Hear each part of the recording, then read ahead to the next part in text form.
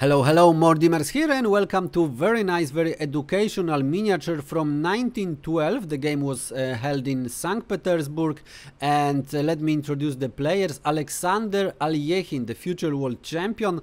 However, here he is only 19 years old, so a rising star uh, of the Russian chess. And he already was very strong because his estimated ranking according to Chessmetrics was already 2669 and he's gonna play as white. And his opponent may be less known but also a very strong player uh, Grigory Levenfish and uh, he was known because uh, he contributed to the chess theory a lot. Uh, for example, we have Levenfish attack in the Sicilian defense.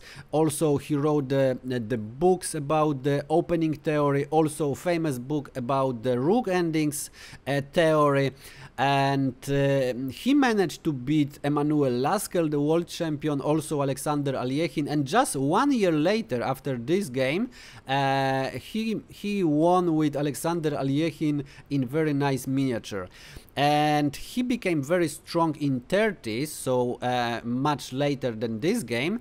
Uh, he was for example uh, the russian champion national champion twice. And for example the future world champion mikhail botvinnik couldn't win with Levenfish. So definitely that's some achievement. And without further ado let's see what happened in the board so Alexander Alekhine opened with d4. We have c5, d5, knight on f6, so some kind of Benoni systems. And I would like to show you uh, just the, some ideas how it looked like uh, in this position. So uh, c4, e6 and uh, knight on c3, exchanging the pawns on d5. This is very typical. d6, e4, g6. And this is very, you know, normal, typical position in the Benoni systems where black actually have the plan to attack on the queen side because they have the three pawns against only two pawns and white want to break the center so play something like f4 e5 and of course with the support of the pieces breakthrough in the center. So these are the very typical plans. However here in this position uh, Alexander Alekhine play knight on c3 so he developed the pieces much faster and he want to go for e4 f4 and then e5 and break through the center.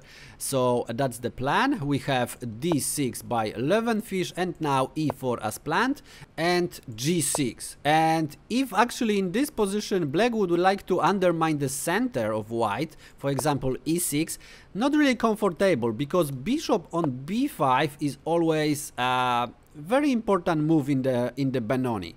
So uh, you will see some ideas here. So for example, bishop on d7 uh, as the move, and now d takes on e6, and now this bishop of course can't take it.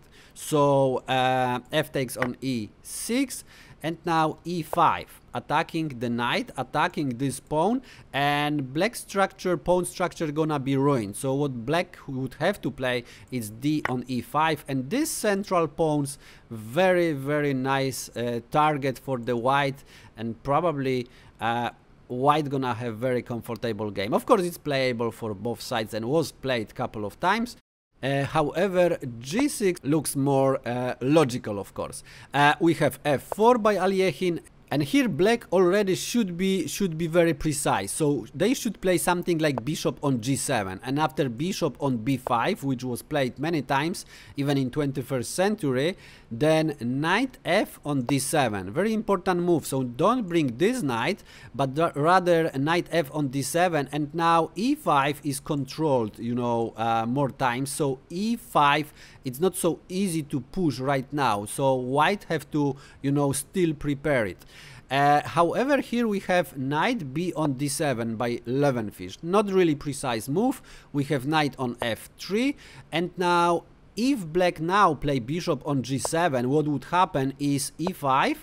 Uh, so knight, for example, on g4 and then e6. This is one of the ideas uh, to play against the Benoni. And now f takes on e6, d takes on e6 and knight d on f6. And after bishop on b5, uh, the king actually have to move to f8 and white gonna have very comfortable game. Uh, better development of course this pawn uh, is the pain uh, for black. Not easy to develop. The king is already you know impossible to castle. The rook's gonna stay. Very uncomfortable game for black Levenfish uh, definitely don't enjoy this continuation, so he play a6, preventing the bishop from jumping to b5, but also in the future uh, b5 can be played as this is already prepared. Uh, and of course Alekhine e5 very typical move here uh, in the Benoni. We have d takes on e5 f takes on e5 knight g4 and now e6 uh, this is very well known idea and it's not easy to deal with that uh, for example, f takes on e6, which looks like the strongest move, and d on e6, knight b6, and the pawn is under attack. Uh, white actually can keep some good pressure. Queen on d8, king on d8, now knight on g5, so king on e8, and now bishop e2, attacking the knight, knight would have to retreat. And white actually can just castle. And after h6 for example knight f7 rook h7 and now bishop f3 keeping an eye on b7 and if black want to you know uh, eliminate this pawn on e6 which is of course possible knight e5 with the tempo on g5 also this pawn is under attack and white gonna get the back the pawn um, so for example on g5, bishop on b7 and the game can continue but white definitely stands better. So as you see it's not so easy to deal with this advanced pawn and they are really really annoying. What Levenfish play is knight d on e5 okay so uh, moving the knight to the center and here Alekhine could play, he didn't play that, but after h3 he could get very very strong position. Now if the knight is moved then this knight is under attack, is hanging, uh, so knight on f3 first, now queen on f3, the, the knight is still under attack, knight on e5 with tempo, queen g3, now bishop on g7 defending the knight, uh, bishop f4 and black would have to play some ugly moves like f6, and then after castle white have phenomenal position. This position just play itself okay? It's very difficult to find the plan for black actually. Uh, but Alekhine play just developing move. So bishop on f4 first and now knight on f3 as the knight is attacked twice. Uh, and here Queen on f3 is possible and it's probably even stronger and more natural move. However, after f takes on e6, d takes on e6, black can eliminate this e6 pawn. So maybe Alekhine didn't like it, so after h3, let's say knight on f6, queen on b7 and position is again is is much better for white but uh, Alekhine didn't like to you know uh, get these pawns eliminated so he play g takes on f3 and now this knight is under attack so have to be moved. Knight on f6 and here Alekhine just developed the piece so bishop on c4 but also supporting this pawn. So if they are exchanged uh, then the pawn on e6 gonna have some support. And black can't play b5 it looks like you know the trap but actually the problem is knight on b5 okay? And now uh, white gonna get back the material because this pawn is you know uh, keeping an eye on d7 so that would be devastating for black of course. So this is why Levenfish here play f takes on e6 d takes on e6 and queen on b6 now we have double attack on b2 it's already uh, undefended but also on e6 okay? Because it's attacked twice and there is only one defender. So what would white play in this position? What do you think? What would you play in this position? So uh, Alekhine play queen on e2 definitely the best move in the position. Defending e6 uh, and now if black plays something like bishop on g7 and then castle, then b2 is no longer hanging, so uh, but black can also castle. And the game can continue here uh, from this position and white have some advantage of course, but this is still playable. Uh, but what Levenfish play, and he calculated quite precisely and he played queen on b2 and most of the lines win for black are better for black here but feel free to pause the video now and find the only winning combination for white while I enjoy my cup of tea. Okay, ready? so the only move, and it's very typical in, in this uh, kind of structures, is knight on b5. Knight on b5. And it's quite difficult to find this move, but it's just it's just winning. So now the knight can be taken because a takes on b5, we have bishop on b5, and with this pawn on e6, black can do nothing. So uh, if the kings move on d8, then of course we have the rook d1 and that's gonna be devastating here. So bishop on d7, black have to give back the material and now e takes on d7. And whatever black play, like knight on d7, the problem is bishop on e5. Now attacking the queen, defending the rook and also attacking this rook. So queen on b4 with tempo would be the best here, king f1, and now black don't have really good moves. Rook is hanging, so rook g8, but then rook d1. Now the knight is hanging, so rook d8, bishop c7, and black is losing.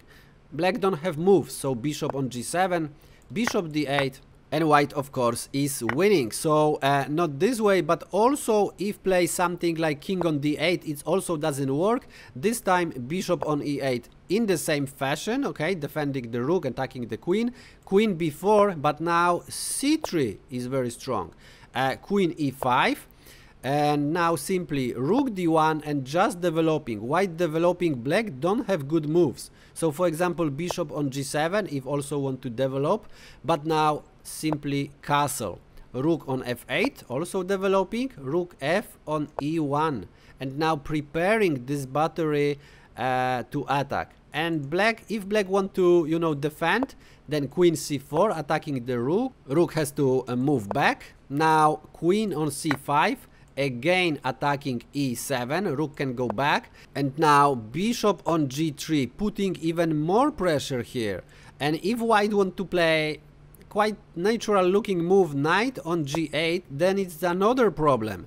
Rook on e4 with the plan rook c4 and now some mating ideas on c8 so as you see, knight on b5 can't be taken with the pawn. Uh, very bright idea, and this is probably the move which Levenfish just missed uh, in his calculation, because all other moves just losing, and black would have very comfortable game.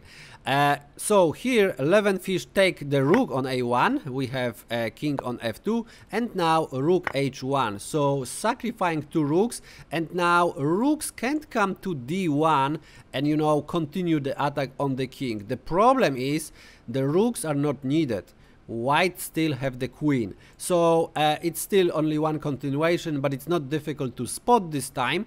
Knight on c7 this is what Alekhine of course play. King on d8 queen on d2 and now the only move for black is bishop on d7 uh, and now e takes on d7 and in this position Grigory Levenfish resigned the game. And he resigned the game because he can do nothing. This is the checkmate coming. So how are you gonna prevent this checkmate?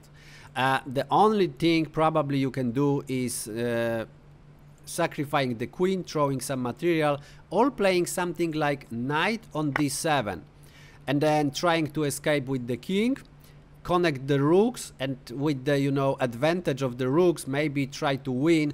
The problem is bishop on e6, checkmate is coming, uh, what black can do is only queen on c8, but now we have a check, queen on b8, and now everybody can probably see that, knight on b 5 checkmate. This is a discovered check and also this knight controls a7 and so that would be a checkmate. This is why in this position uh, Grigory Levenfish resigned the game.